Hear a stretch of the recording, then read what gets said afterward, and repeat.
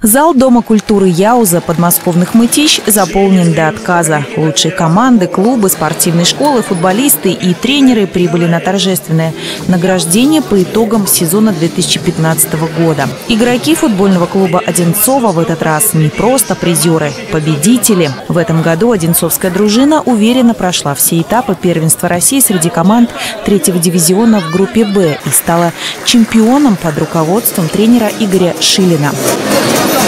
Thank you.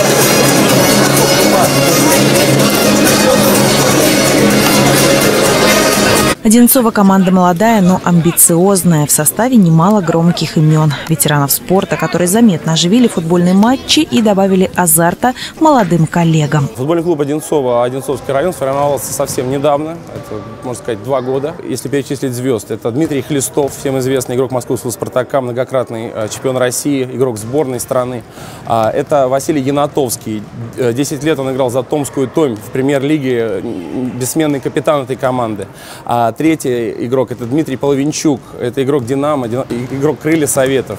А, они, можно сказать, усилили нашу команду и э, придали нам уверенность. Знаете, даже находиться в раздевалке э, с, с такими людьми, это значит прикоснуться вообще к э, истории футбола. Футбольный клуб Одинцова был отмечен Федерацией футбола Московской области за минимальное количество желтых и красных карточек и за максимальное количество зрителей на стадионе. Особенно отмечу Одинцовское дерби.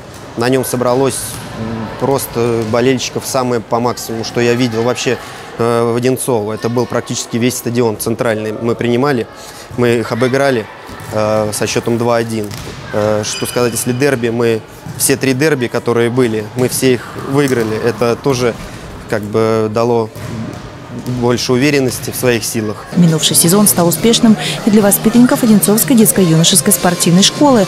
В октябре по итогам подмосковного первенства высшей лиги Одинцовская дюсш, набрав 125 очков, перешла в премьер-группу, где представлены лучшие футбольные команды Подмосковья. В октябре по итогам подмосковного первенства высшей лиги Одинцовская дюсш, набрав 125 очков, перешла в премьер-группу, где представлены лучшие футбольные команды.